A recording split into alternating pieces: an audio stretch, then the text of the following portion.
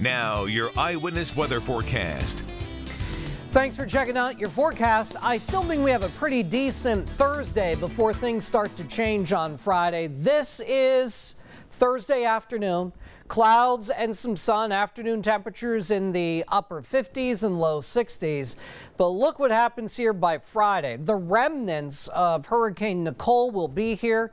Rain develops through the day, and at times later Friday, Friday night, some of that rain is heavier. The good news is Steady rain should end early Saturday morning, but there will be leftover rain showers scattered about through the day.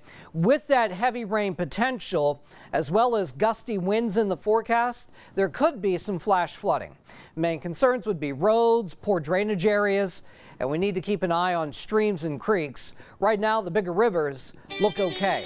Thursday afternoon looks decent. Rain on Friday, a little bit cooler Saturday and then cold enough on Sunday for rain and snow showers. Download the Eyewitness Weather app so you can get severe weather alerts as soon as they're issued.